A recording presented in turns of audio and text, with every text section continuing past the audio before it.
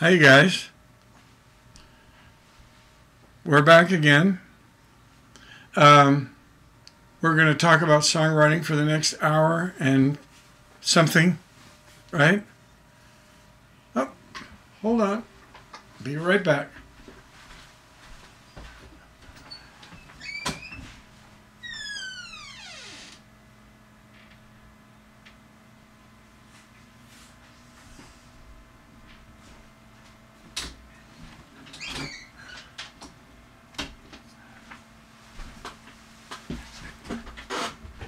All right. Hi. So um, let me give you a link. Alrighty, let's see. We're going to go to this one. Is this it there? Yes. We're going to we're going to copy that. All right, and then we're going to go back to this one and we're going to go down here. L-I-N-K link to L Y-R-I-C-S, link to lyrics. And it's called CreatiVets, S-O-L-D-I-E-R, Soldier, and War. All right. Here's this. Oh, thank you, honey. Oh, that's just wonderful. Thanks. Uh-huh. That's my darling bride.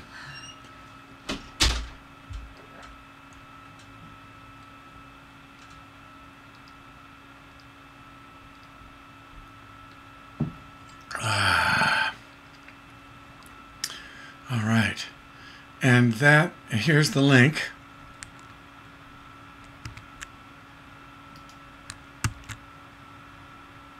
No, I didn't get it. Try it again. Copy that. And then paste it on there. There we go. And we push that. That's the link. You'll find a, uh, that opens to a folder.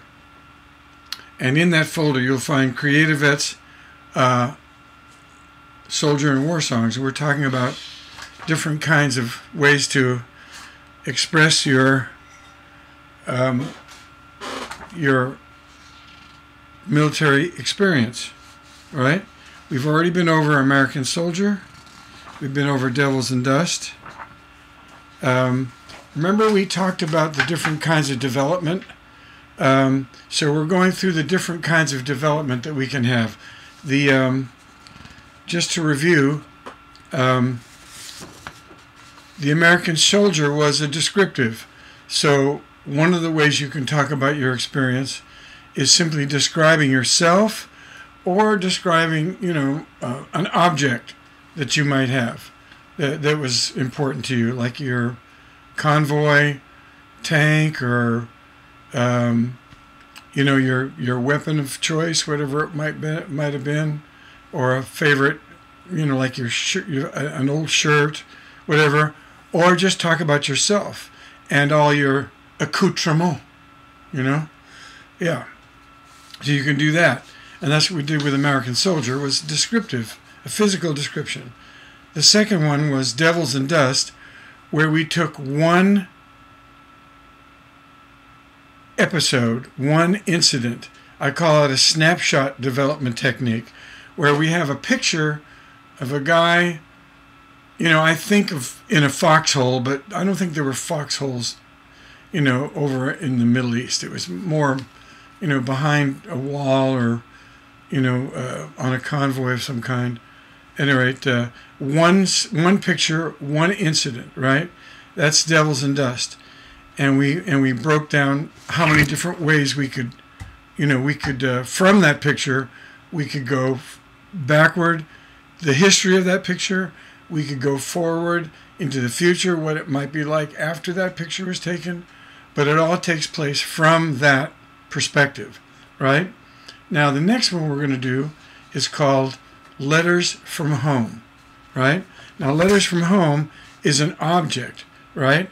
And uh, we're going to read this down. Oh, first we're going to play it, and then we're going to uh, check out and see what's going on with that and why that song was so successful, right? So we're going to deconstruct this Letters from Home.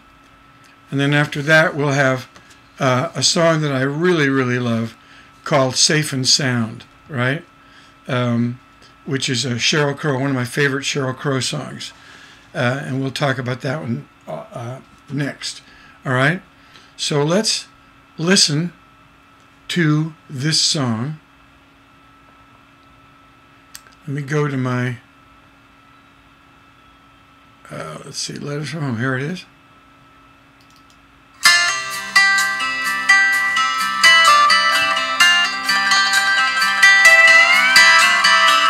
My dearest son, it's almost June. I hope this letter catches up with you and finds you well. It's been dry, but they're calling for rain. And everything's the same old same. Johnsonville. Your stubborn old daddy ain't said too much. But I'm sure you know he sends his love.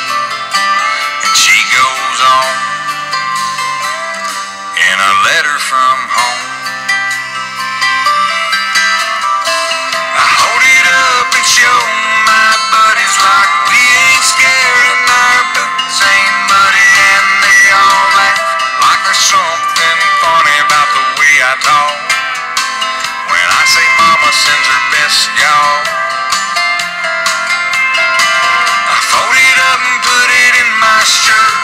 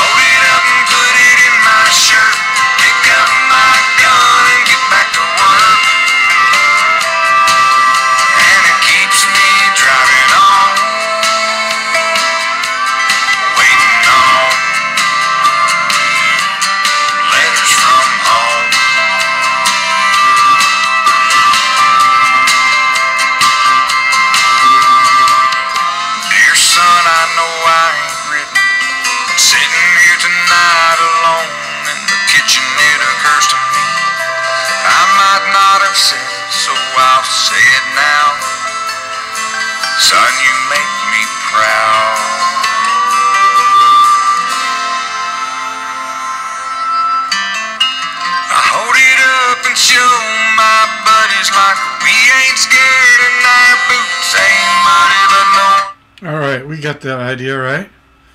Um, this is uh, John uh, Michael Montgomery, I believe. Uh, yep, John Michael Montgomery. He was one of my favorites. Uh, I really love the country songs of the 90s. Uh, they still sounded country, but they had a little modern twist to them. Um,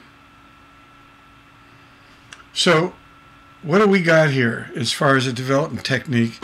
We got an object. So, one way we can talk about our military experience is picking an object. And in this case, we want an, of course, we always want an emotional object. So, what's this emotional object? It can't be nothing more emotional than a letter from home, right? So we've got a really good object. That's a fantastic thing to, to have. Um, and we're saying uh, it opens like it opens like you're reading this letter. So that's you know fantastic way to start a letter song is to just say what what the content is, rather than saying, you know, I got a letter today in the mail and I went into a corner all by myself. Um, that is one way to, to to tackle this problem. But in this case, this is David uh, Corey Lee and Tony Mac Lane wrote this song. Uh, they decided just to open right with the content of the letter, right? So we open with the content. My dearest son, it's almost June. I hope this letter catches up with you and finds you well. Okay? Now, notice there's no rhyme scheme in there at all. My dearest son, it's almost June. I hope this letter, oh, catches up with you. Sorry, June and you. Yeah. So we got June and you, and finds you well, right? And that last line is surprisingly short. Normally, I would think it would be, My dearest son, it's almost June. I hope this letter catches up with you. About a da da da da da da da da. Right?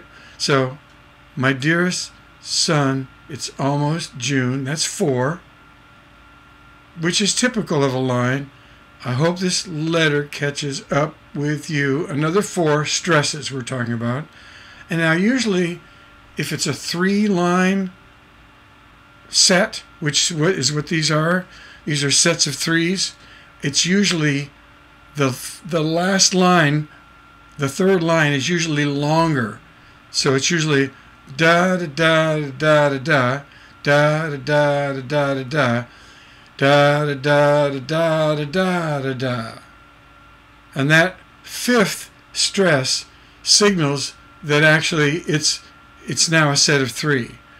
Uh, but instead, surprisingly, and it was really surprising, it's been dry. It's been dry. It almost sounds like just one stress, which really you go, whoa. Uh, so that is a technique of getting your attention. Again, we're talking about tiny surprises. Uh, let's go over the tools that we have as a songwriter. The tools we have, well, first we have, of course, our wonderful imagination. I like to call it our spark, right?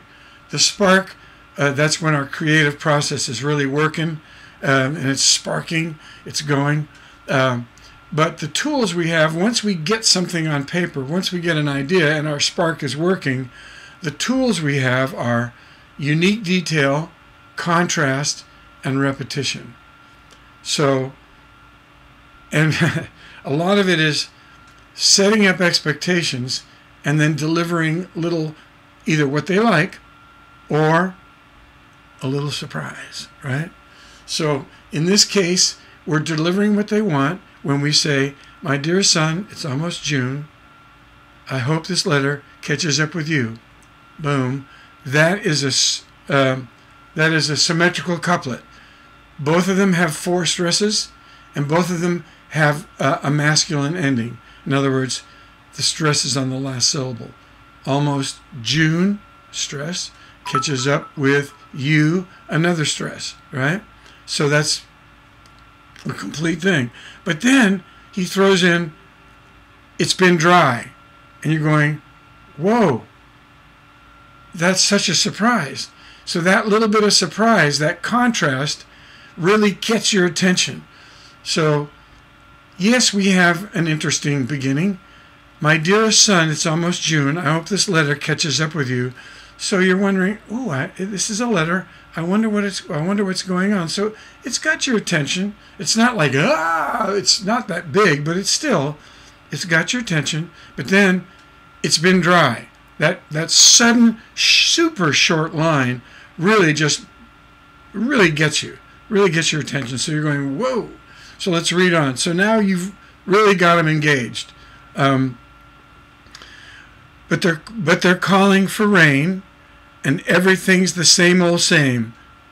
But they're call, mm, but they're calling for rain. I think there's an accent that's not spoken, so it'd be mm, yeah. They're calling for rain, Everything's the same old same in Jacksonville. It's like boom again. It's been dry in Jacksonville or in jo- sorry in Jonesville in Johnsonville. Ah, Johnsonville. Okay. Um, so now we've we've completed the rhyme. We've got dr- uh, it's been dry and Jacksonville. Well, it doesn't really rhyme, does it? That's very interesting. It's been dry. Johnsonville. Huh, it didn't rhyme. So we have A A X B B X. Hmm, that is a very interesting um, little a notation there. Uh, that would have rhymed if if if they said um, like uh, uh, I'm trying to pick a town that has an I sound uh, in uh, second eye uh, ben, uh, second eye Ben and I uh, Fan and I I can't think of one uh, off the top of my head but it's been dry uh, in these parts. I can't think of one. Anyway, so they didn't. I mean, I could go online right now and go uh, and go. You know, um, towns because it doesn't matter what town it is, right? It can be any town. I can go to my rhyming dictionary, which I have right here. Um, I go to my rhyming dictionary. And the rhyming dictionary I recommend is called wikirhymer.com. And I highly recommend the um, the pro version, which is about 10 or 11 bucks a year. So we're going to go like uh, dry, D R Y, and I'm going to put in find. And uh, there's usually uh,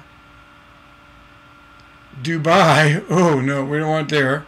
Versailles, French fry, uh, uh, and Brunei. Um,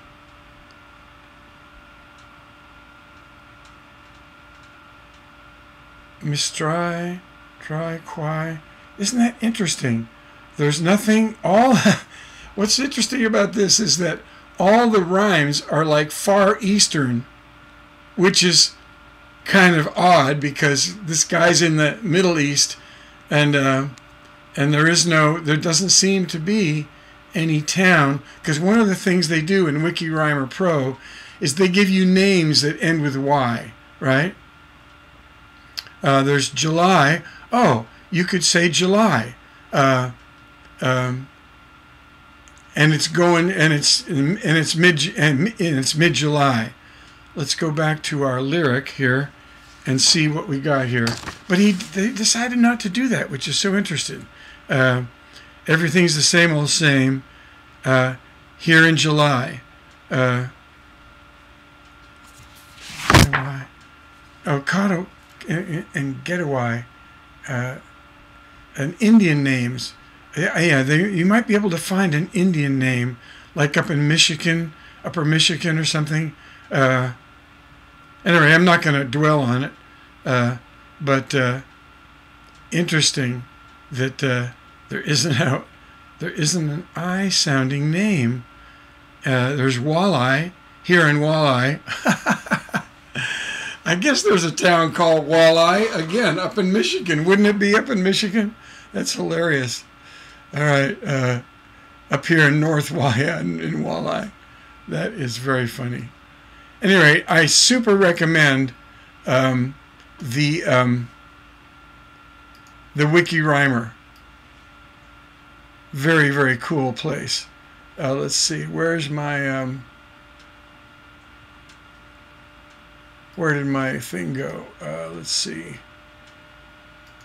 Um, okay, let me go back to my. Uh, I closed accidentally. I opened up WikiRhymer on the same page as my as my chat, so I have to start a new chat. So if you made a comment to me just recently, I won't see it. So you're going to have to go back. Let me go to my um, go to my internet, go to my bookmarks, go down to chat. I have to be careful when I go to open when I go to open um, something that I don't accidentally open on the same page as my chat, and that was my massive flaw. Is that that's what I did? Is I opened on the chat, and uh, so now I'm back on chat.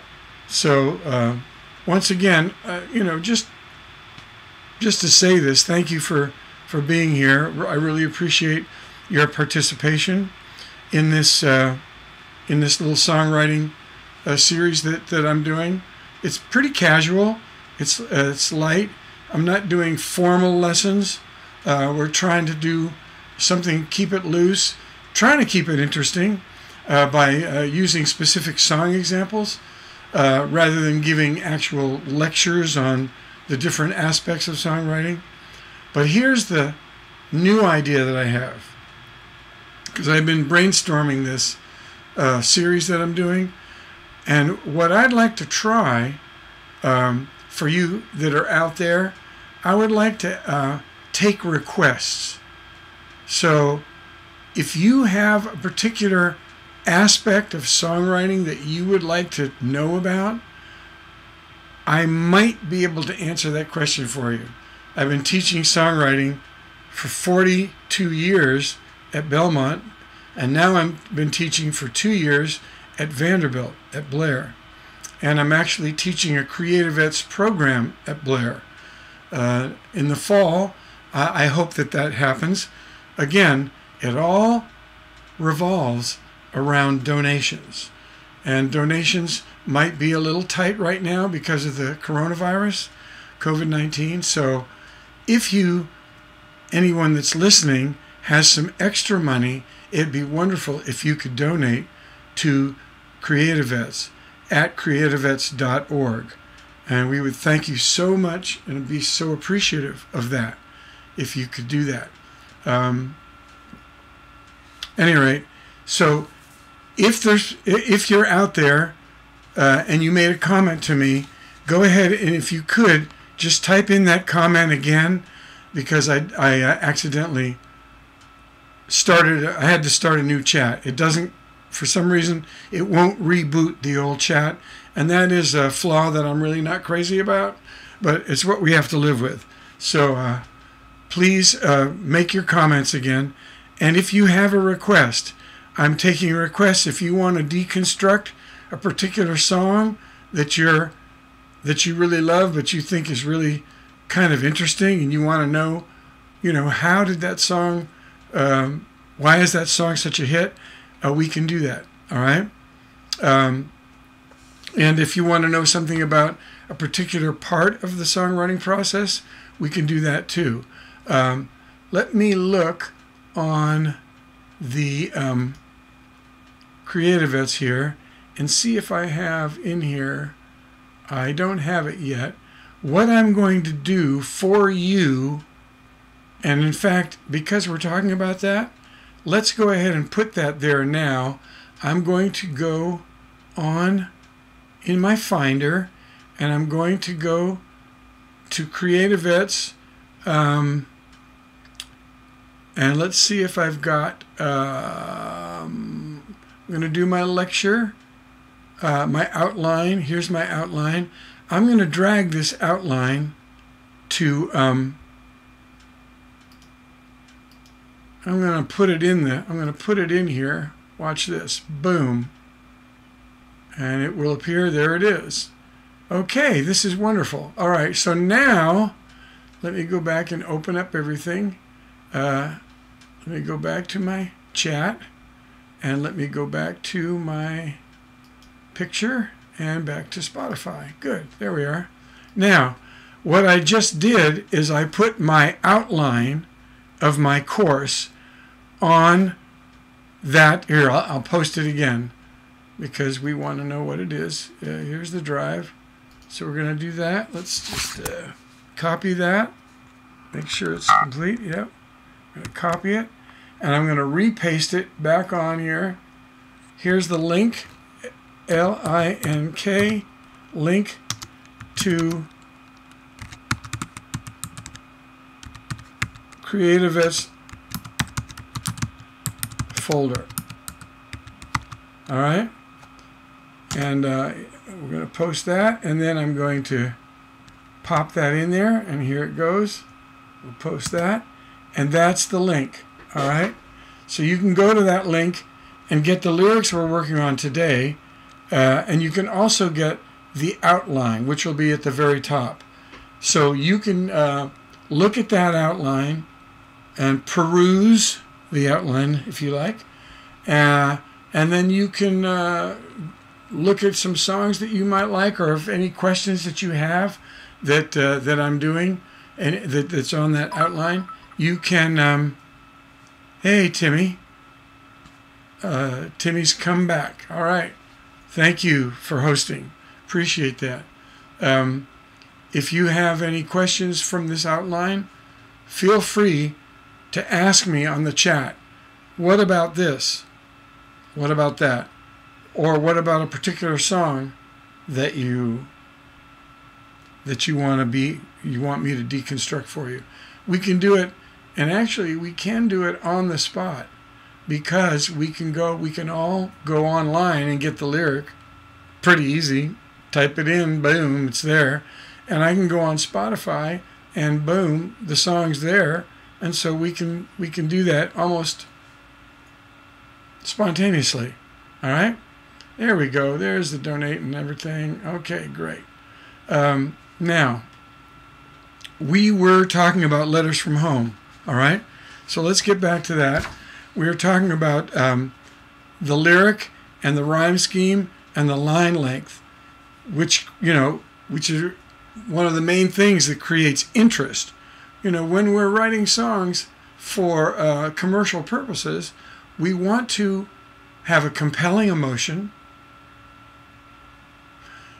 and we want to continue creating interest and have that arc go up, up, up, up. Always that arc of interest go way up to the top. We want to keep it going up. We don't want it to flat flatline at a particular place.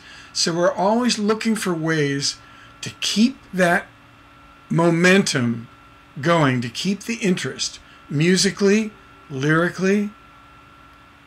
And when we talk about music, we're talking about melody and chords and textures, right? So when I talk about textures, it could be just this interesting. Let me bring this down a little bit so you can see my guitar, my beautiful Gibson. I love my Gibbo. It's a it's a J45 with a cutaway. And there's my Gibson name on there. Yeah, my faithful three-string capo, which I love so much. And we'll put that on there just because I love it, you know. And so um, so we could we could uh, so texture wise we could uh, do the, ver- the the verses in the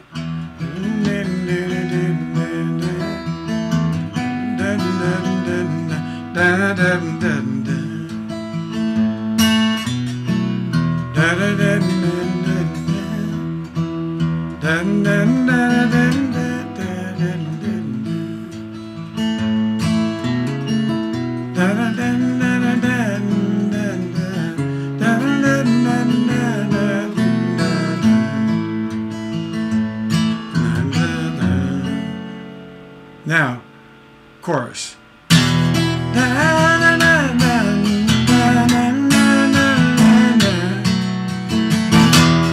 See, I changed the texture from a finger picking to a.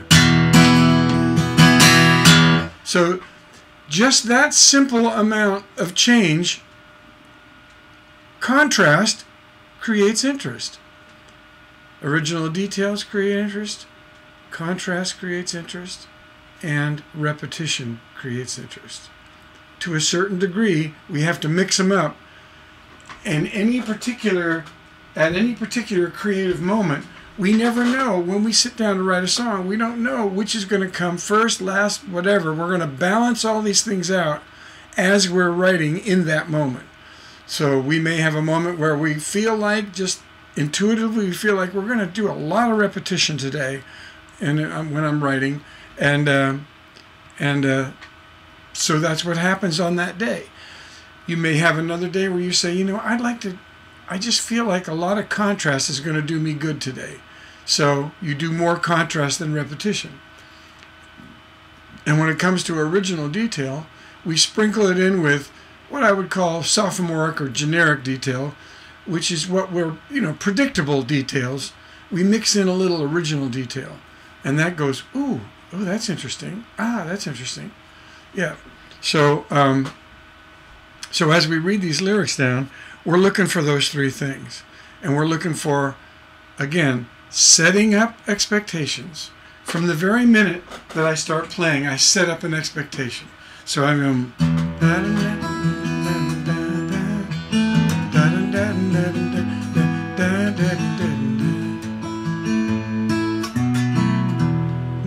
There, your expectation is I'm going to do that again because usually when we create a motif, we usually want to do it twice. That's what the listener is expecting. So I could do that again.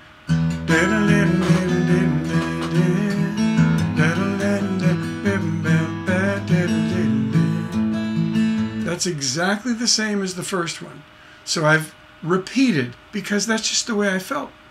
But I wouldn't have to do that. I could change it anywhere. Let's let's just give you an example.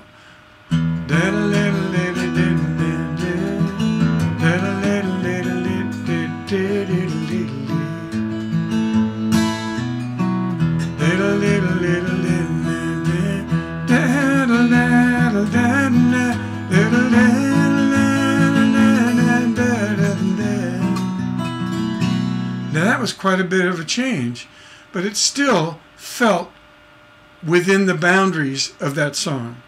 But I I did some interesting contrasts. So again, create depending on your creative moment, that day I just decided, you know, I feel like mixing it up a little rather than giving the predictable pair of repeated, you know, one motif, then I repeat it. I'm going to change up the bottom one. I'm going to change up the second one a little bit to give them a little, ooh, what's that? Oh, what's that? Right? So, yeah, little interest there.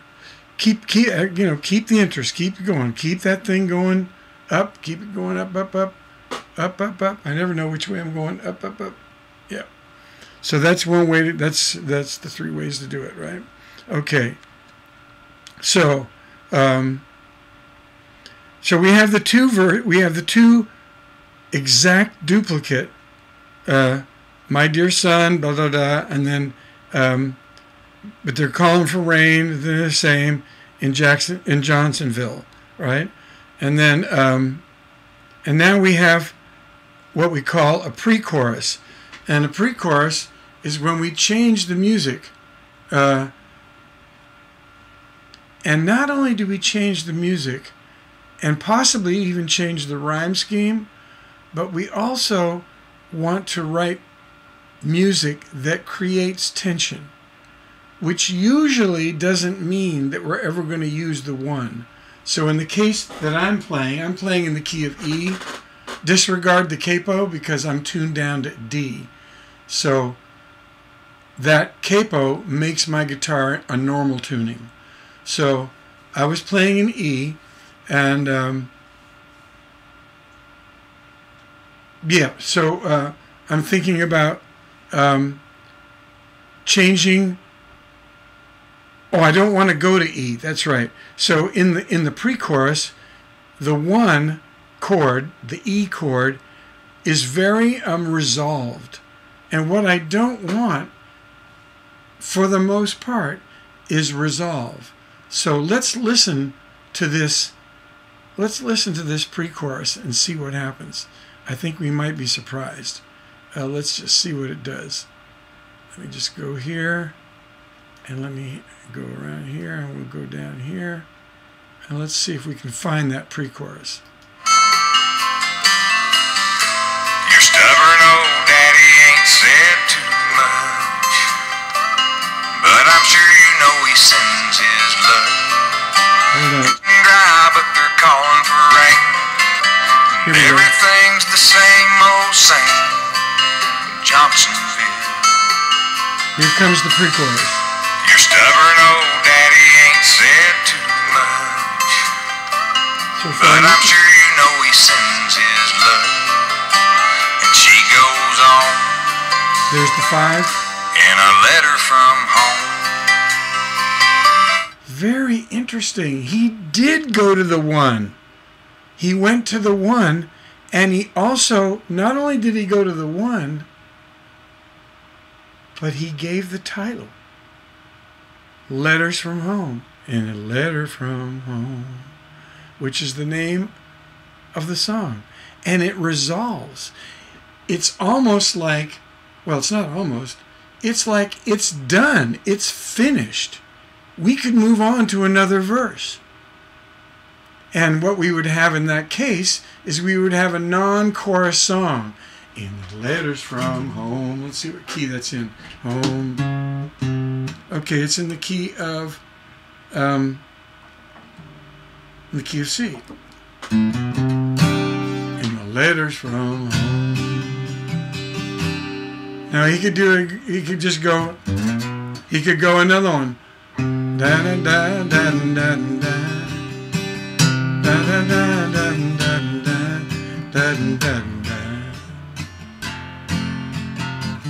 He could do that. He could just go right, keep it mellow, right? But instead, what does he do? So he it makes it. He gives a resolution, so it's very relaxed and very resolved at the end of this verse. But then what happens? Let's see. Are we going to go to another verse? We could, because we completed that thought, landing on the one, landing on the one note too. Letters from home, which is which is C, home, C. Okay, good. Another verse maybe. Let's see.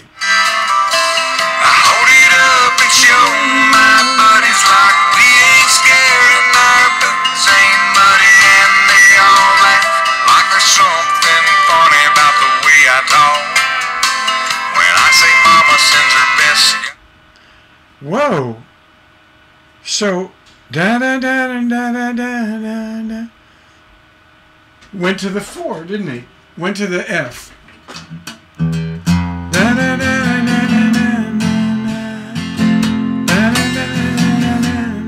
So that is definitely that's a chorus. So the interesting thing about this is that it's it's a non-chorus format in that it goes back to the one and resolves completely at the end of the pre-chorus. But then it gets into that chorus. So what's the emotional effect here? The emotional effect is really resolved, very relaxed. It's very casual and da da da da da da da da da. You know, it's moving ever so beautifully and slowly and easy to take it's it's very very relaxing. And of course he's talking about you know a very dangerous situation. So what an interesting lesson we're having here. Uh, this song about war about men getting killed and women and children too for that matter. But uh, men getting killed combat putting your life on the on the line you know for something you believe in. Um, is the most serious and dedicated uh, exercise. Uh, one is probably the most dedicated and extreme exercise you can do in your lifetime. And this song is so light and gentle. So if you wanted to do that kind of thing with your song, you could resolve at the end of a, a pre chorus, and you notice that the pre chorus, the music was different than the verse. Um, and so, uh, uh, do you want to hear that again? Do we need to hear that again so that we, we, we can tell the difference between the, the verse and the pre chorus? We didn't do that. So, let's do that just so you can hear all the musical parts now. We've got three musical parts verse, pre chorus, which resolves, and then this gentle chorus which does have the same kind of rhythm. Da da da da da da da da. Now, uh, my dearest son, it's almost June. Da da da da da da da. Mm, Thou went up and show my buddies Oh, but there's an interesting thing that happened right there. Buddies. Here's up with you and find you well. I pushed the play button. Buddies in the beginning of the chorus is a feminine ending. Have we talked about that? In previous episodes, we have. Oh, song ideas to deconstruct. Uh, for what it's worth. Oh, what a great song. Oh, I love that song. I love that song. Um, and you know what? We could go to that. We could jump. Let me finish this one. And we could jump to that song only because, man, I love that song. And also because you requested it. So uh, let me finish this one because we're on a roll. We're on a biscuit. Um, so let's finish this one and then we'll go. We'll go to For What It's Worth. I just heard that song the other day because what was yesterday? Memorial Day. Celebrating veterans that died in combat, right? I'm pretty sure it's just that it, it, it might be celebrating all soldiers, which I think is the case, but they concentrate on the on the ones that gave the ultimate sacrifice. They gave their lives. So we do, and I'm really actually quite glad that we, we're doing that because uh, it needs to be recognized every year, every month, every day. Um, okay, so and so I just heard that song yesterday, as in a series of songs about about uh, about veterans and about war and about and what are what is part of the war situation is protest, right? That is part of the encompassing thing about war. Is some people don't want to do it, and some people don't like that other people are doing it. So we will get to that. But let's finish this one up.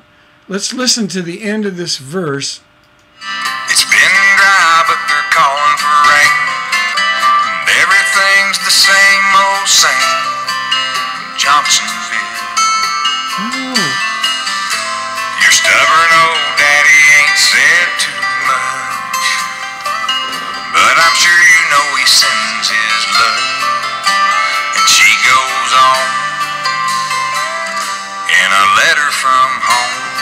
did you notice the difference there? Did you did you check the difference out?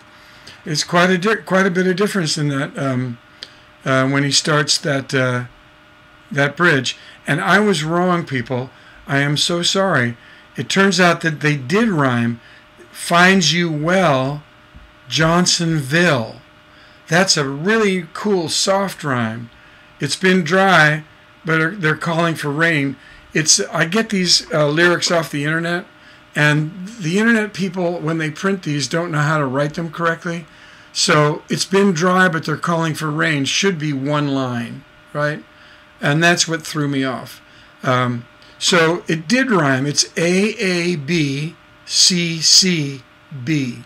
So well and vil is a really wonderful what I call a, a soft vowel rhyme.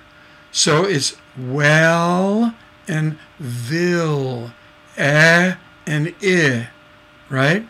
That's a vowel. And it works best with soft vowels like a, eh, ah, and uh. And oo and o. Ooh and o sound very uh, familiar. And also uh. Well, yeah, let's not get too far off on that. But this is a soft rhyme with eh and i. Well and vil. And it worked quite well. Huh? Yeah. Um, what I love about soft rhymes, just to throw this out here, is they're unpredictable. So when you say well, you're thinking the rhyme is going to be tell or smell or gel, right? But instead, they went Johnsonville. And you get the subtle sound, you get the subtle the subtle pop of rhyme, but because it's subtle and because it's unpredictable, it's a surprise, which is contrast, right? Anytime a little surprise pops into a song, that's considered under the under the umbrella of contrast because we're going along predictably and suddenly there's a change and the change is the surprise.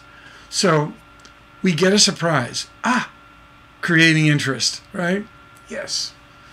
Yes. So I really love soft rhymes because they're unpredictable and they create interest, right? So that's the reason why I love them. So you could also hear the difference in the verse and the lift.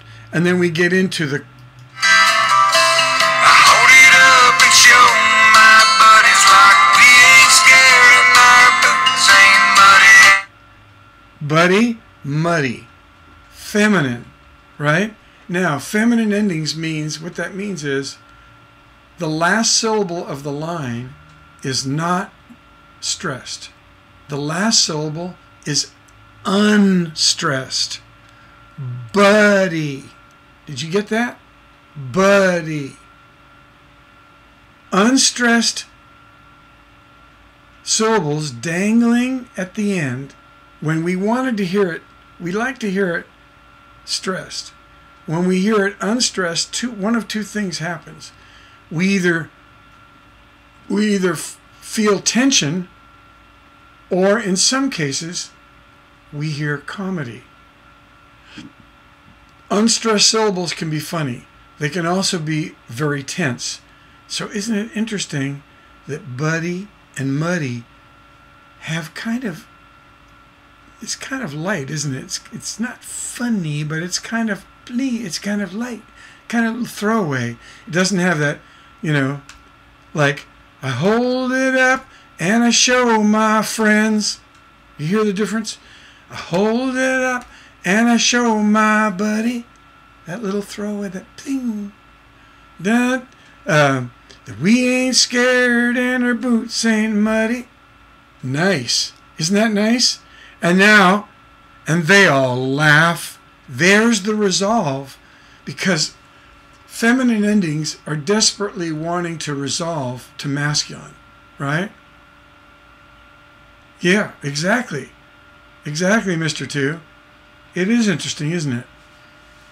So you can manipulate, what I'm trying to say is, and we do this all through these lessons, is um, you can manipulate your listener's emotions simply by your choice of rhyme scheme, your line length, and your feminine or masculine endings, right?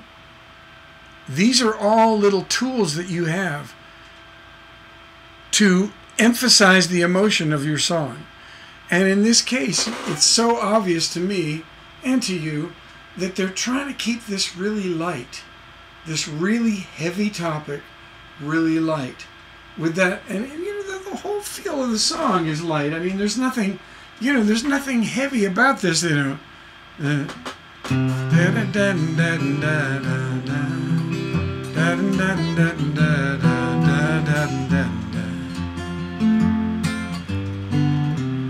mean, that's very, um, it's very, very light, and and I love the way that it resolved at the end of the of the pre-chorus. We didn't know it was a pre-chorus because it da da da da da da da da. It ended right da da da da da da da da buddy, oh buddy, da da da da da da da da da da da. Very nice, very nice how that we're keeping it light, a little bit a throwaway. Um, and let's see how it ends here. They all laugh like there's something funny about the way I talk. When I Funny rhymes with muddy and buddy. Something about the way I talk. mama sends her best, y'all. Mama says your best, y'all.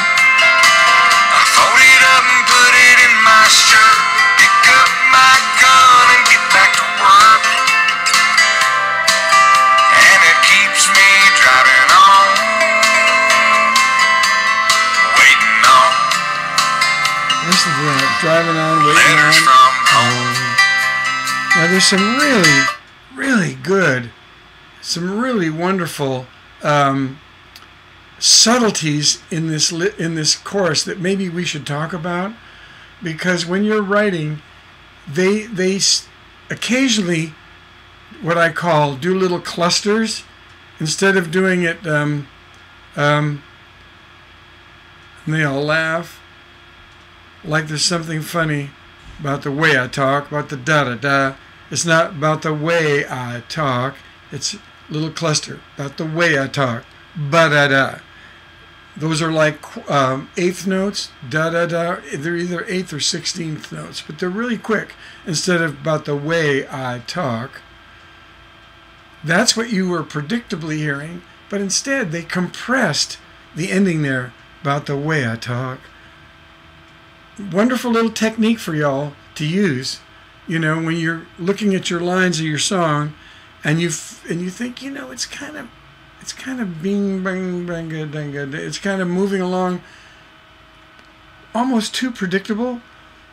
Try compressing some of your endings about the way I talk. My mama sends her best, y'all. Fold it up, but put it in my shirt. Notice that he didn't do the feminine ending there. Pick it up, pick up my gun and go back to work. Put it in my shirt. Back to work. See the da da da, the little triplets. Back to work. It keeps, and it keeps me driving on, waiting on letters from home. And then the last one is stretched out like you would predict. Da da da bum. And notice instead of going letters from home, it's letters from home. It's right on the downbeat. Letters from downbeat. So lots of little compressions. So it's before the downbeat. Ba da da. Da da da. Letters from home. See how they did that? So compressing before the downbeat, compressing before the downbeat, and then finally we get the last one goes boom right down on the last one, right? So all these little tricks are rhythmic and rhyming uh, tricks that you can use in your song. And you can rewrite your song, songs that you've already written, and uh, you can look at them and go, oh, I could compress these lines and that line, and that would give a little interest because it's a little, it would be a, maybe a little bit um, unpredictable. So you could do the first one like predictably, da da da, and then the second time go ba da da, right? Just give them a little, you know, push the beat a little bit, compress it in, rather than going out to where they expect. Just crunch it in a little bit and create a little compound, a little uh, compound. Uh, uh, little fragment there, right? I forgot what I called it now. I'm I'm getting old, folks. Uh, okay, so um, so the chorus, he's now he takes it back from the letter. He takes it to his friends, you know, which you can do also. He's talking about his friends, and notice how he's trying to keep it light. Like you know, there's no mud on our boots. We're you know, like we're not scared. I hold it up and show my buddies, like, you know, it's everything so light and and uh, trying to keep it funny. Uh, I thought that was really uh, okay. Oh, hey, hi there, Hypebot. Good to have you aboard. We're talking about "Letters from Home," uh, a song that's uh, J- uh, John Michael Montgomery, and we're breaking it down and trying to figure out how why was this song such a big hit uh, why is it such a good song? And, and uh, we're just talking about the chorus right now. Um, I fold it up, put it in my shirt, pick up my gun, get back to work. I love that line. It's like pick up my shovel, you know, pick up my pen or pick up my guitar. It's pick up my deadly weapon and get back to work. You know, uh, it's such a brilliant, massive understatement, right? understatement and overstatements are attention getters. Like, you know, like you could say, you know, you know, I would die for your love. I would lie for your love. I would cry for your love. You know, those are overstatements. That gets people attention. Also, massive understatements. Pick up my gun and go back to work. Oh, that's a brilliant understatement. Love that. So he's keeping it light, you know, um, and it keeps me driving on letters from home, right? Hey, yeah, thanks for the uh, thanks for the bot. R.I.P. Yeah, indeed. Yes, yes. Um, so now, where is this going to go? Uh, let's see. My dearest love, it's almost dawn. Uh, I've been lying here all night long, wondering where you might be. I saw your mama. Ooh, what have we got here? Have we got a letter from the girlfriend? Really? So we've got two letters, not one, but two letters. Second verse, another letter. Brilliant move. Brilliant move. It's going to keep my attention. Rather than going on about stuff about home, let's get into romance. Now, there's only three basic topics in all of songwriting there's life, there's love, and there is spiritual, right? Or, um, yeah, spiritual. And it can be everything from Orthodox Christian to voodoo, right? Anything that's not of this world, right? That we believe in, any belief system. Um, what's interesting to me is I've noted that love is more important and has more strength and power than life topics. So notice rather than put the girlfriend's letter first in the first verse, puts the girlfriend's letter second because we're, remember that? We want to keep it going up. We don't want it to flatline. And if he had talked on the second verse about more ideas from home, it wouldn't have necessarily flatlined, but boy, you better keep it interesting. You better have topics about home that are really, good word here, compelling, right? Compelling home topics. But rather than do that, why not? Why just go to the love letter? Again, a brilliant idea. Well, well played. Well played. My dearest love, it's almost done. I've been lying here all night long wondering where you been where you might be. I saw your mama, and that was the mama that wrote the first letter, right? So how that's nicely tied in. Saw your mama and I showed her the ring. Man on the telephone said something, so I couldn't sleep. Right? Again, subtle, very subtle.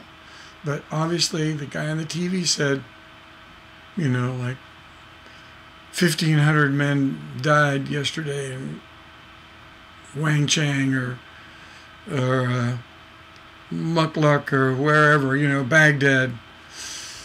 You know, um, so uh, let's see. Uh, I couldn't. So so let's the, the, the pre-chorus. So I couldn't sleep, but I'll be all right. I'm just missing you. And this is me kissing you. Isn't that nice? Missing you, kissing you. That's a particular type of rhyme that I call inside end rhyme. And what that means is what rhymes is a word inside the end. It's not the end word, it's a word inside the line. But it's so powerful that it is that it's as effective as if it were at the end. Uh, the the poster child for this kind of rhyme is uh, I call it interior end rhyme. Is um, hello walls. I want to talk with you a while. Hello floor. I want to walk with you a while. Notice talk and walk are the rhyme. It's way inside the line. With you a while, with you a while. Talk with you a while. Walk on you a while. So everything after the rhyme, everything after the rhyme was um, copied. With you a while, on you a while. A little change, but still, you get the idea. There's no rhyme there. The rhyme is talk and walk. Interior end rhyme. A great Great trick. Another great trick. If you're having trouble like rhyming you, like um, uh, I've been all right missing you, all the things I'm going through. He could have done that. They could have done that, but instead they went kissing, missing, and kissing. Again, very effective, very cool, because of course kissing is a it's a powerful word, right? It's a great word. So that's the way they got a really powerful romantic word in the song, you know, is they went an interior end rhyme. They rhymed missing and kissing rather than you. Another little trick for you. Um, and then uh, X's and O's in a letter from home. Again, interior rhyme. X's, well, they're little short lines. X's and O's in a letter from home. Now, notice how short those are. X's and O's, two, two stresses. X's and O's, another two. Letters from home. What have we said about the length of time between rhyme? The shorter the length of time between the rhyme, the more tension you're creating. So even though it's resolving, and did they do the same thing? Yes. Same thing in the first verse. Um,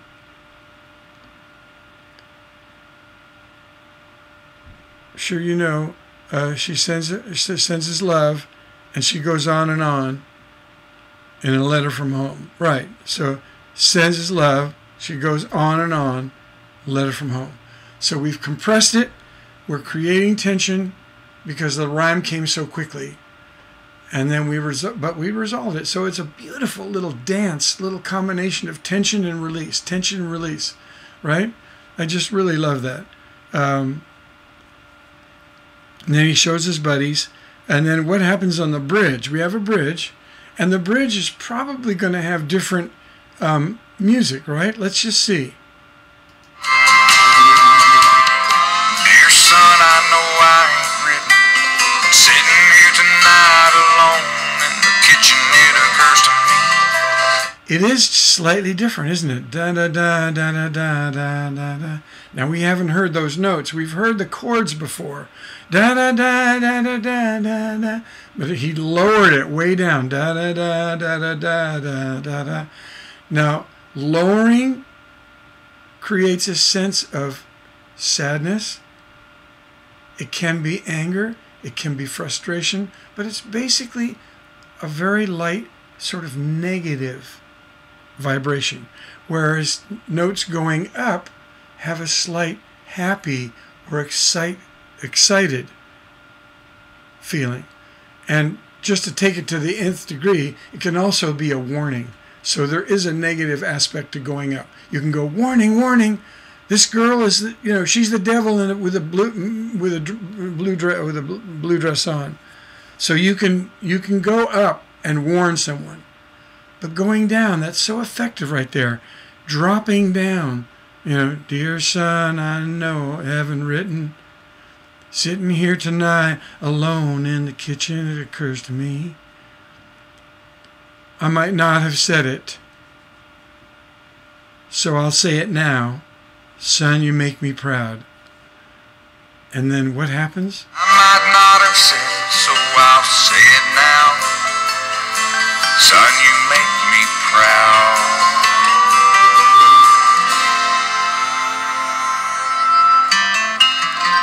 What just happened? You make me proud. Pause. Pause. Again, very, very effective. Stopping and starting occasionally. We always like to have our song have momentum, right? We want it to have momentum, but along with momentum, what contrasts momentum? No momentum.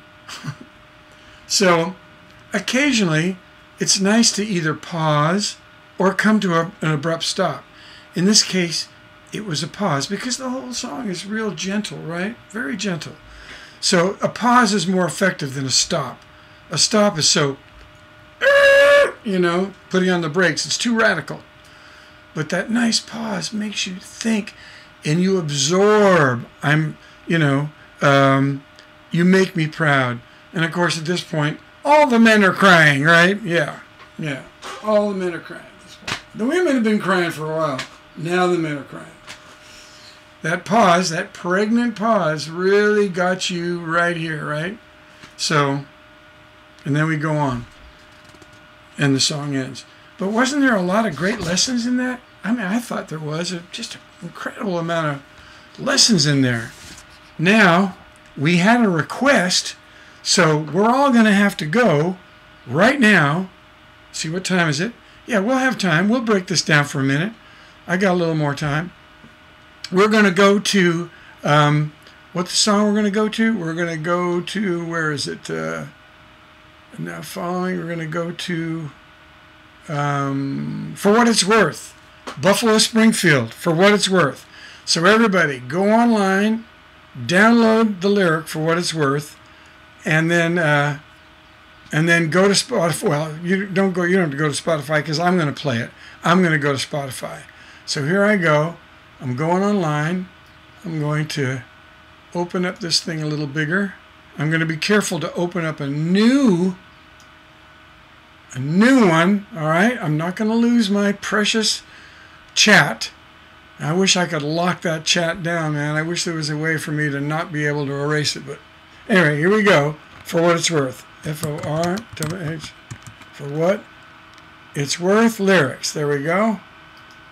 Now, we're going to copy this. First, we're going to open it up down here. There's a little, it's very hard to see. I don't know why they made it so, so, so uh, light. But if you look at the bottom, there's an arrow pointing down. Click on that arrow and it'll open up the whole lyric. And that's what we want to copy. I'm going to, you can just leave it open like that. But for me, I am going to copy it so that I can print it so I can watch you at the same time. We're going to go here and open up a new document. I'm going to put that down like that. And now uh, we're going to make a few little changes here. Um,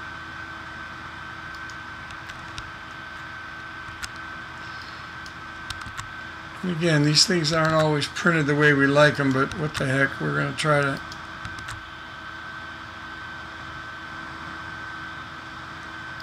I'm just making spaces between the sections so I can, uh, and wouldn't you know it, of course Stephen Stills wrote this. Yeah, Stephen Stills, man, he knows what he's doing, the dude. Let's, let's first of all make all this um, normal. And then we'll take this one and we'll make it that. And then we'll make, put that in there. And then we'll do that. Okay. Here we go. Something's happening here. What a great song. Um, great idea. Really appreciate that idea. So we're almost there. Okay. Um, I'm going to indent. I can already see um, Yep, I can already see how interesting this song is. For what it's worth, we're going to put that in F. Um, come on. F. And we're going to, for what it's worth. W-O-R-T-H. See, I'm, I'm filing it in my lyric thing. And now we're going to print it. All right, and now while it's printing, I'm going to go to, I'm going to go to uh, F-O-R-W-H-A-T for what it's worth. There it is, Buffalo Springfield.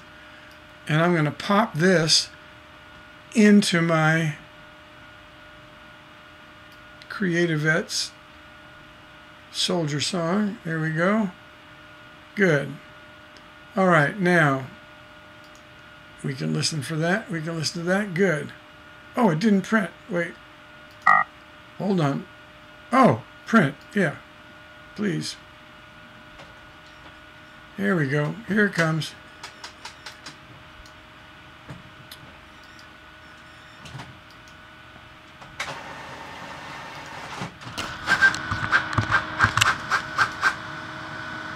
There it is. All right, good. Now we got this.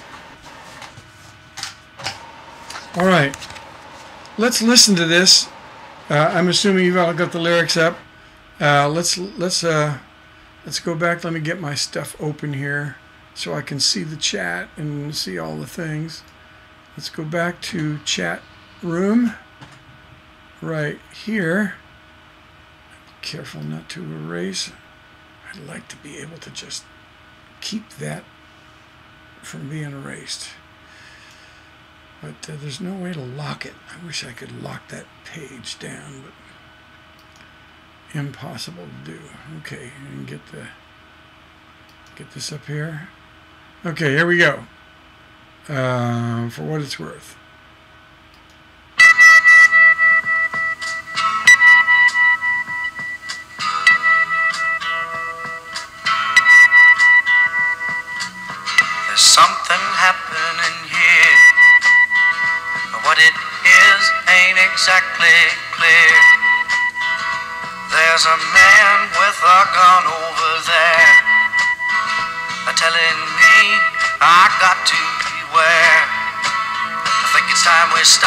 Children, what's that sound? Everybody look what's going down.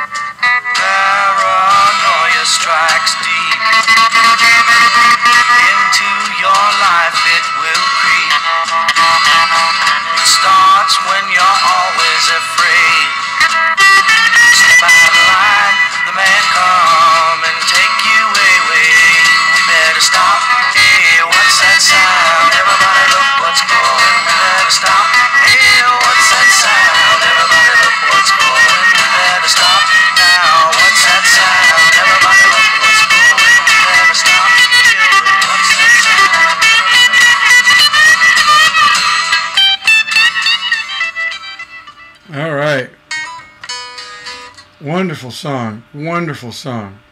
Okay. There's a lot going on in this song. Um, one thing, you know, when I really look at, at when I really look at this song, it's very interesting in that I find it much more subtle than I remembered it you know, when I think of the song in my mind, I think it exploding, right? Getting so big at the end, like giant, huge song. But there's such a brilliant amount of restraint in this song. And it's smoldering, isn't it? It is just smoldering, right? Let me look and see if you've uh, if you guys are saying anything. I want to make sure I'm not missing something uh, that you might have been saying. Very interesting. Got that. Join. Got that. Got that. Discord. Donate. Learn more. Learn more. Donate. Okay. Good. Just want to make sure somebody hadn't said something. But uh, and please make comments. And uh, pardon me if I don't read them. yeah, I'm, I'm. When I get focused, I'm. I'm so focused. I sometimes forget to read them. Um, uh, okay, so this is a study and a brilliant study in restraint and in um, what's the word I'm looking for in simplicity. right? And in that restraint, there is mountains of tension because of the topic, because of what it's saying. Also, let's look at the textures. We've got that, we've got the vibrato guitar going da da da da da da da. Vibrato guitar, which creates an eerie sort of. Um, I would call this. I would actually rank this as a groove song. Um, there's two basically kind two basic kinds of song your regular song and your groove song the difference between them is a regular song usually has three noticeable motives. Three. But in a groove song because it's hypnotic in a groove you don't need three you only need two. Just the the groove itself and then something to relieve it just for a minute, and then the groove again. And when we're talking about groove songs, there's two kinds of groove songs. There's up tempo and what I call dirge. You know, another another dirge song is um,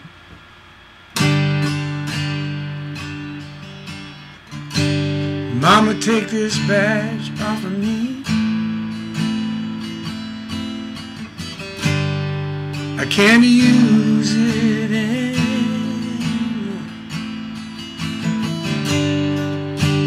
Long black clouds hanging down. Feels like I'm knocking on heaven's door.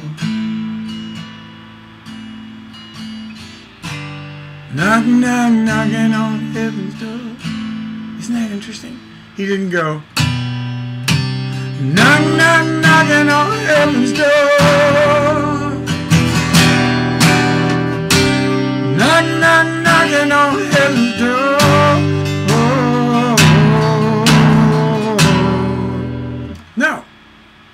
Keep knock, knock, knocking on heaven's door. Yeah. Dylan said, no, no, no, no. Uh, I know how to write a song. I think I've proven that. But I'm not going to go to the the main big huge power chorus. I'm going to keep it in the groove, in the pocket, in the hypnotizing of the depression, right? And this song is one of those. It has a little bit of relief when it goes, I think it's time we stop Children, what's that sound? Everybody look at what's going down. Mm-hmm. Right? Um, and it's nice that I think it's time we stop. Let's see how much they stop. Let's see how much they stop. But that stop is very effective there. Again, sudden contrast. Oh, what are we doing? That's not the song. I don't know how we got to that. That must be the follow up song for people that love songs about the 60s.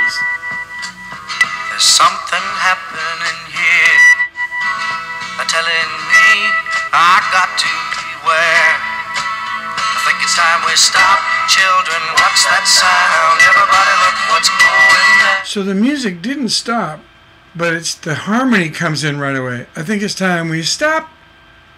And then the harmony, I believe the harmony stopped. So you get you get that one little spot of harmony. What's that sound? Oh, no. Everybody look what's going down. All right, everybody everybody harmonize. So we get that contrast. I think it's time we and the word stop is the first time we hear the harmony. So again, real effective. What's going down. Where? I think it's time we stop. Children, what's that sound? Everybody look what's going down. Very nice. And then again, that those um, harmonics, the harmonics, uh, you know.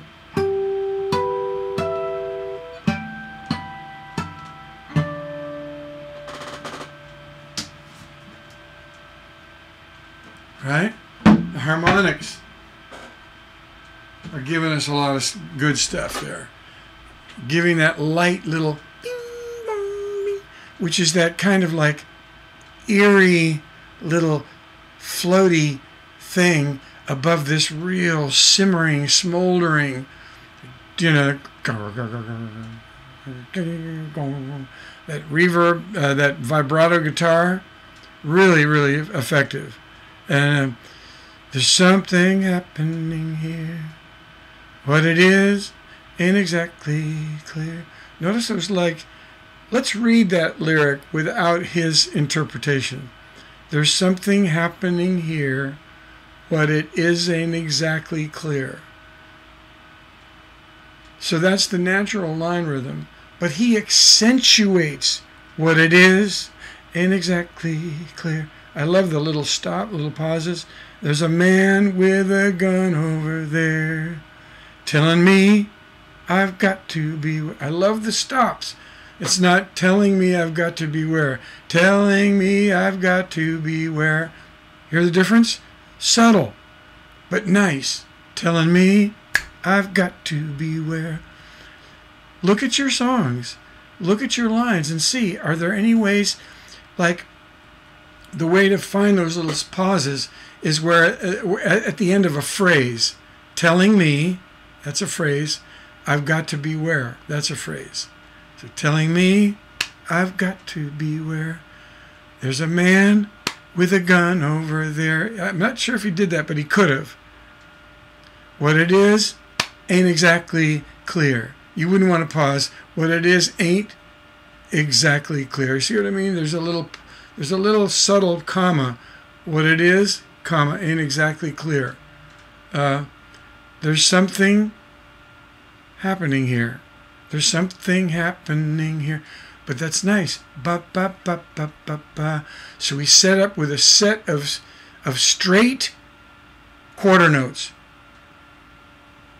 There's something happening here. Da, da, da, da, da, da, da. Notice the melody's the same. What it is ain't exactly clear. There's a man with a gun over there, almost like the first one, telling me I've got to beware.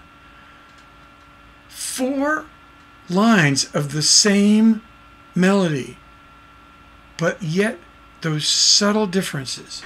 Uh, let's see what they're doing musically, chord wise. Are they is it is staying the same? Mm-hmm. Uh, uh, uh,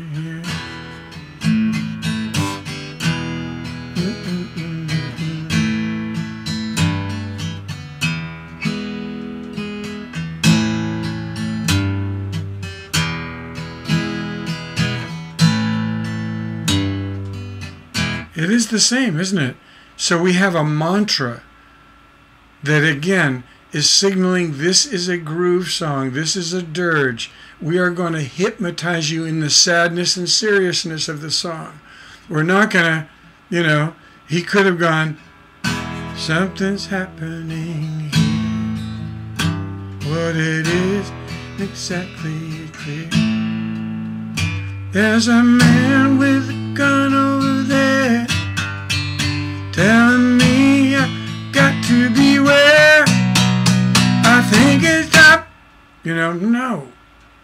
And again, this young man, Stephen Stills, he was just a young songwriter, but he had great intuition for a beginner, didn't he?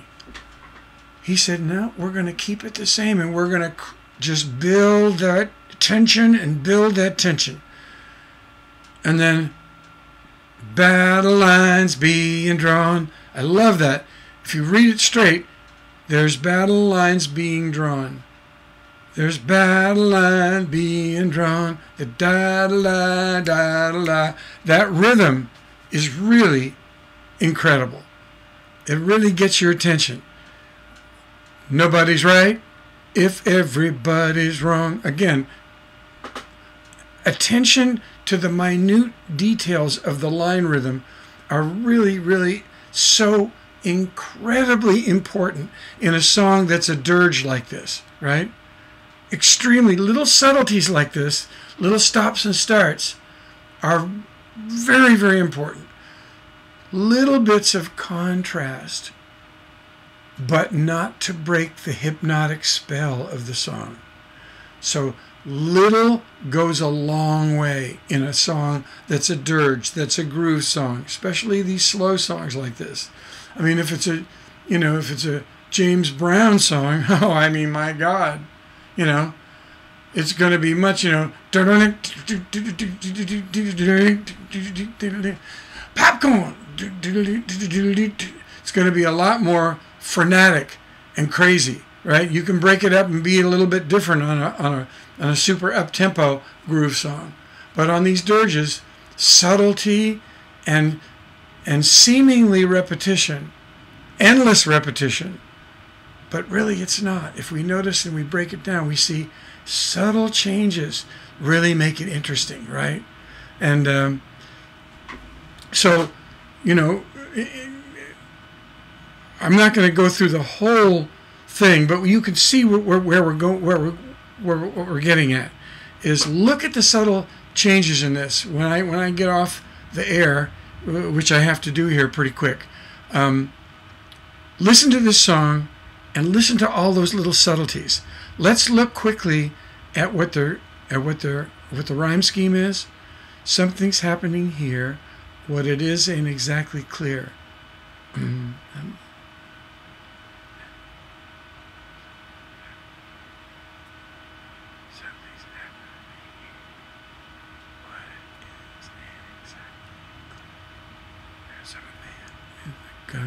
over there telling? Okay so these are all these are all symmetrical lines. There's something happening here. What it is ain't exactly clear. There are sets of three stresses. There's a man with the gun over there telling me I've got to beware right? So what do we have? What rhyme scheme? We have three sets of three rather than the traditional sets of four there's something happening over here is a traditional setup. A set of four stresses per line is is a traditional sort of standard. But instead something's happening here. They shortened the lines. By shortening these lines remember what we said? The quicker the rhyme comes the more tension. The song's all about tension. Shortening the lines really increases tension. Touchdown brilliant, right? Something's happening here. What it is ain't exactly clear. Now we expect him to change the rhyme scheme, and he does. There's a man with a gun over there telling me I've got to beware. Very good. So that's predictable. I think it's time we stop. Children, what's that sound? Everybody look what's going down. To stop, children, what's that sound? Stop, Children, what's that sound? Everybody look, it's going down. Yep, so that's four. Four lines. Four stresses, rather. All right? And a very, isn't that brilliant that, that um, if you want to call it a chorus, it's a two-line chorus, right? It's almost what we would might call a, a refrain chorus. Uh, and some people might say, that's not a chorus, it's just the end of the verse. But I like to call it, I think it's different enough we can call it a chorus. Uh, but I don't think they're playing. Let's see if they're playing different music there. What's that sound up there? Telling me I got to beware. I think it's time we stop, children. What's that sound? Everybody look what's going down. Yes, it is different. Uh, it, it's it's basically sounds like. Um,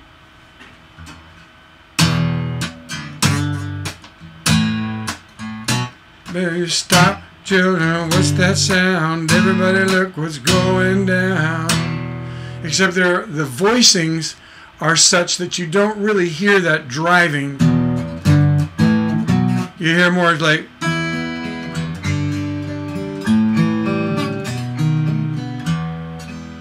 You know, it's much more subtle. Uh, so, uh, again, keeping in the theme of the hypnotic dirgeness. So we do have a different, we do have a slightly different um, chord pattern for this little short chorus, right? So um, so that's that's the breakdown of the music and the chords. Um, notice he didn't go up. I think it's time we stop, children. What's that sound? He didn't go. It's time we stop, children. What's that sound? Everybody look what's going down. Could have done that. Why didn't he do that? Because, well, he might have been smoking a lot of weed. That's one reason. You're burnt. You know? Uh, but the other reason is it keeps the dirge going, right? Keeps it going. Keeps that hypnotic trance. Don't want to break the trance, right? Even though we changed the chords and we just had two little lines that have four stresses instead of three, it's different, but still not that different. It still has that subtle, that kind of we're still in the pocket, right? So let's look at the lyric real quick because I do have to go. Uh, there's something happening here. What it's what is isn't clear. There's a man with a gun over there telling me I got to beware. It's time we stop. What's that sound? Everybody, look what's going down. So we have something going on. There's a man with a gun. Battle lines being drawn. So we're continuing this thought of there's there's this tension on on you know in general. Uh, there's a guy with a gun pointing at me. So we're obviously we're talking about there's boundaries. Someone's uh, saying, "Don't get near me because I've got a gun." Uh, and he says, "Battle lines being drawn." So now we're into obviously we're into war and battles. Nobody's right if everybody's wrong. Oh, how interesting is that? That's your big conclusive statement, right? Big conclusive statement. Nobody's right if everybody's wrong. And uh, notice they're saying everybody this and that. So it's it's those people over there. Nobody's right if everybody's wrong. So it's it's a very inclusive. It's not pointing at you directly. It's not saying you're, you know, if you're, if you all are, are all think you're right, well, you're all wrong. You notice how that pointing it, the finger at somebody, doesn't work. But you say nobody's right if everybody's wrong. Inclusive, right? Very important that we're inclusive. And that includes me. So I'm being preached to myself. So that softens the preachy bit, right? Young people speaking their minds, getting so much resistance from behind. Oh. Oh, thank you. Yes. Well, 5,000. Oh, woo. That's, thank you. Thank you. Appreciate that. Super appreciated. All right. Wonderful, wonderful. So you can see how this is building. Um, then, uh, uh, what a field day f- for the heat. A thousand people in the street. Oh, now we're talking about what we talked about before. We set it up with the young people. Um, first, we set up battle lines, then we set up nobody's right if everybody's wrong. And so we're thinking about that. Wow, I wonder what he means by that. That's interesting. And then here's young people. And now there's a field day for the heat. A thousand people in the street singing songs and they're carrying signs. Mostly say, Hooray for our side. I love that. You see, this is what we need more of today. What the world needs now is cooperation and sympathy and understanding. You know, with these, uh, this song is so pertinent and so um, so important for today's world, isn't it? Where we're trenched, we're deeply entrenched in what we believe, and everything else is fake news, right? On both sides, battle lines being drawn. Isn't it wonderful to say people everywhere really care? Like, I'm, I'm a liberal, meaning that I listen to both sides and I understand both sides. That's what that's my definition of liberal. I like to hear both sides. I treat all people as honorable.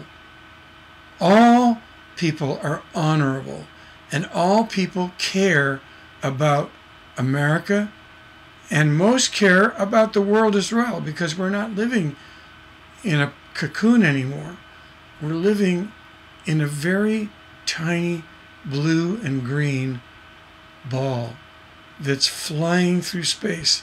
It's something like 12,000 miles a minute or something. I mean, we're moving, woo, we're moving so fast. Uh, we've got to preserve this little place. So, Democrat, Republican, Libertarian, um, we're all in this together. We're in this together. We all care about our children. We all want to laugh. We all cry when things don't go well. And so we need more understanding. And this is a great song, a wonderful way of bringing this to our attention. Notice that it gets preacher and preacher as the song progresses, right? And then we give, I love that we give mostly say hooray for our side. This is the third verse. And notice, did you notice that there's no bridge? That it's just verse, little chorus, verse, refrain, chorus, verse, refrain, chorus. But also, notice that in the third verse, there's oohs that show up, harmony oohs in the background, which now makes that verse musically separate. Again, contrast creates interest. And in the fourth verse, everybody's harmonizing together. That's not an accident. That is actually on purpose. They figured that out. Let's make this one even more interesting and different by everybody in the band harmonizing, right? Um, okay, gotta go. All right? Gotta go. It's time to go. We have somebody else coming in. All right? So, um, there we are. That's our thing for today. Uh, on Friday, I'm, I'm, the topic is going to be less is more. We're going to talk about that. Or if you want, we can continue talking about soldier songs and war songs. And again, taking your requests. All right? Keep it on the double nickel. I'll see you on the flip flop. Adios, amigos.